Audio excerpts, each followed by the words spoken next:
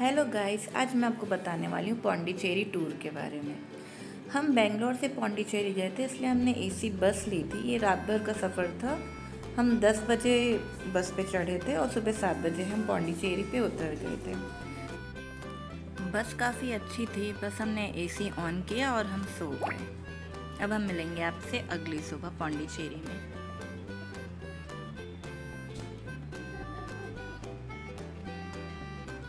सुबह के सात बज गए थे और हम पौंडीचेरी पहुँच गए थे। वो वहाँ का फ़र्स्ट व्यू था। हम जल्दी पहुँच गए थे। चेक इन का टाइम था बारह बजे।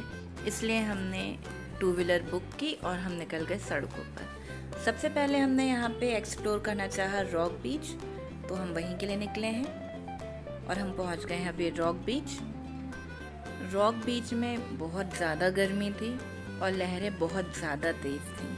कोई भी पानी में ज़्यादा जा नहीं था सब साइड में ही खड़े थे और हम तो बहुत ही दूर खड़े थे। क्योंकि जब आपके पास बेबी होता है, तब आप ये सारी चीज़ें बहुत अवॉइड करते हैं। अगर थोड़ा कम पानी होता तो शायद मैं बेबी को भी ले जाती बट पानी की वेव्स बहुत ज़्यादा तेज़ थी तो हमने अवॉइड किया। बस हमने साइड में कुछ फ़ोटोज़ क्लिक करी। बीच के साइड में खूब सुंदर पेड़ था तो हमने अपनी फ़ोटो क्लिक की। उसके बाद फिर हम वहाँ के म्यूज़ियम के लिए चले गए। म्यूज़ियम में बहुत सारी मूर्तियाँ थीं जो बहुत सालों पुरानी थी, हज़ारों साल पुरानी। किसी में दस हज़ार लिखा था, किसी में कुछ लिखा था। कई तो ऐसा लग रहा था जैसे भगवान के भी पहले बनी हुई हों मूर्तियाँ, भगवान भी इनके बाद आए हों। इतना टाइम लिखा हुआ था उस पर चोल वंश और भी जो थे, उन सबने मूर्तियाँ वगैरह बनाई थी।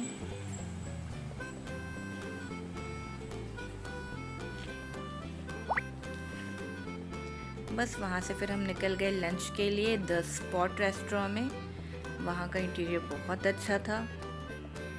वहाँ पे हमने पहले अपनी फ़ोटोज़ क्लिक कराई और उसके बाद हमने वहाँ पे लंच किया। हमने खाया वहाँ पे waffle with caramelized banana and ice cream और फिर हमने खाया spinach lasagna and Spanish lasagna आप ट्राई मत कीजिएगा क्योंकि मुझे तो बिल्कुल पसंद नहीं आया। वॉफल तो हम फिर भी खा लेते हैं। ये जो आप देख रहे हैं, ये वहाँ के रूफ टॉप से नज़ारा है।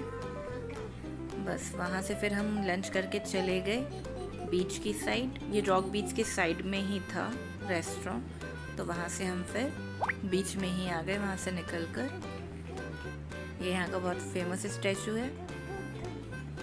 और उसके बाजू में ही पब्लिक टॉयलेट है। ये वो रेस्टोरेंट है जहाँ हमने अभी लंच किया था द स्पॉट बहुत अच्छा है ये रेस्टोरेंट इसका इंटीरियर बहुत अच्छा है। और यहाँ पे बिल्डिंग्स हैं, जिनके कलर बहुत सुंदर सुंदर है। बस हम थोड़ी देर फिर बीच की साइड बैठे और फिर वहाँ से हम चले गए एक एक्सपो में, जो पास में ही था। बाकी वहाँ पे ऐसा कुछ मुझे यूनिक तो दिखा नहीं, कुछ बस हमने वहाँ से मैग्नेट लिया। और हम आ गए। फिर हम गए उडुपी चाय और सैंडविच खाने और फिर हम निकल गए वॉक पर। जब आप किसी शहर पर जाते हैं और वहाँ पे अगर आप वॉक नहीं करते हैं तो आप उसे कैसे ही एक्सप्लोर कर पाएँगे? थोड़ा सा वॉक करें टू व्हीलर पे घूमें, तब हम उस शहर के बारे में अच्छे से जान पाते हैं। तो हम निकल गए थे वॉक के लिए। खैर, हम बीच साइड ही चल रहे हैं अभी तो।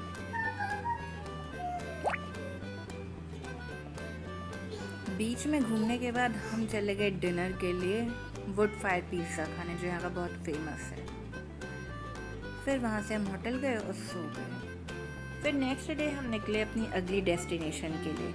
सबसे पहले तो हम फ्रेंच कॉलोनी गए, क्योंकि मैंने फ़ोटोज़ में देखा था एक येलो हाउस जो बहुत ही सुंदर था लोग उसके सामने फ़ोटो खिंचाते हैं। तो मुझे वो चाहिए था कि मैं भी उस घर के सामने जाके फ़ोटो खिंचाऊँ। तो इसीलिए हम उसे ढूंढ रहे थे। क्योंकि मैंने एक दिन पहले ही देखा था, वो इधर किधर ही था बट मुझे याद नहीं था।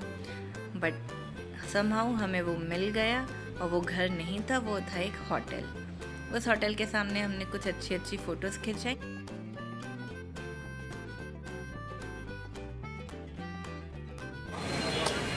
अभी हम फ्रेंच टाउन में थे। फ्रेंच कॉलोनी में अब हम जा रहे हैं मंगरू। वहाँ करेंगे बोटिंग लेट्स मीट देयर अब हम आ गए हैं मैनग्रोव फॉरेस्ट में। मैनग्रोव फॉरेस्ट में चार प्लेसेस हैं जो आपको बोटिंग करके ले जाया जाता है वहाँ पे। और उन प्लेसेस को देखने के लिए पैकेजेस बने हुए हैं। तीन प्लेसेस जाना तो उसका पैकेज अलग, जैसा कि आपके स्क्रीन में दिख रहा है, दो प्लेसेस के लिए अलग। चारों प्लेसेस जाना है तो उसके लिए एक अलग टिकट है। तो हमने चारों प्लेसेस वाला टिकट लिया था। बोट को आने में टाइम था तो वहाँ पर एक लकड़ी का पुल सा बना हुआ था। तो हम उसे देखने चले गए। देख सकते हैं आप यहाँ पे। बहुत ही अच्छा है ये। पुल है, नीचे पानी है आजू बाजू पेड़ हैं। बहुत मज़ा आती है इसमें। यहाँ ट्री हाउस भी है। जब सीढ़ियाँ देखने, वो ट्री हाउस के लिए हैं।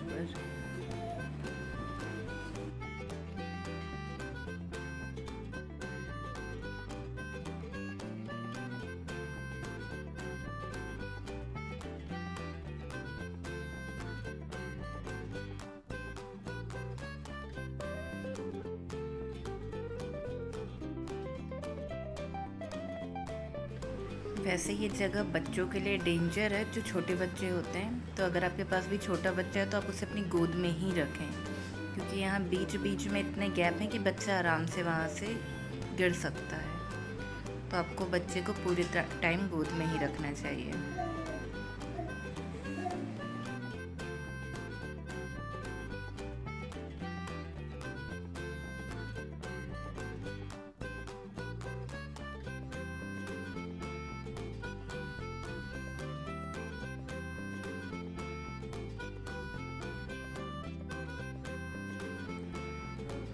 हमारी बोट आ चुकी है और अब हम जा रहे हैं बोट में बैठने।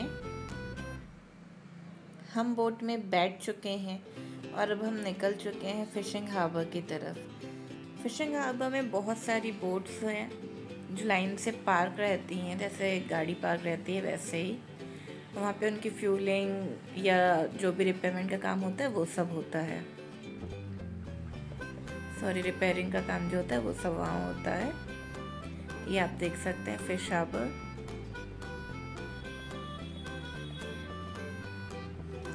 फ़िश हार्बर के बाद हम देखने जाएँगे रिवर माउथ।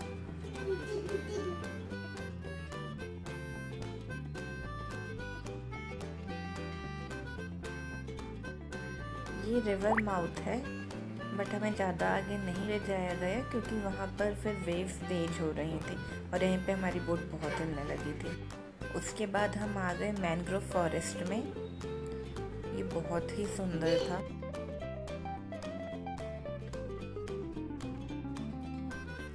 इसके बाद हम अरिक मेडू में गए। और वहाँ पे हमें खूब सारी फ़ोटोज़ क्लिक करवाई।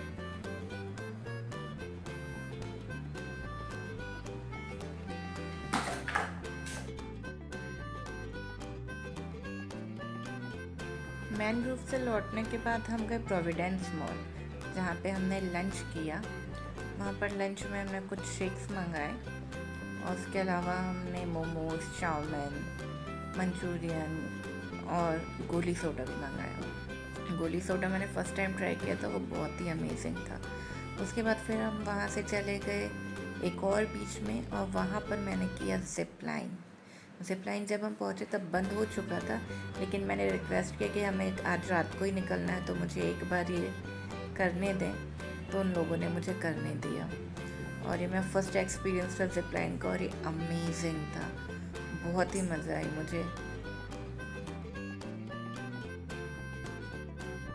उसके बाद हम फ्रेंच डिशेस ट्राई करने एक रेस्टोरेंट में गए। वहाँ हमने पीटा सैंडविच ट्राई किया cinnamon and cardamom ganache try किया और कीश ट्राई किया।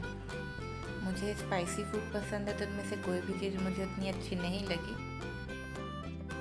अगर आप पौंडीचेरी जा रहे हैं तो दो दिन का टूर इनफ है। उसमें आप सब कुछ एक्सप्लोर कर सकते हैं। आज के लिए बस इतना ही। तब तक के लिए बाय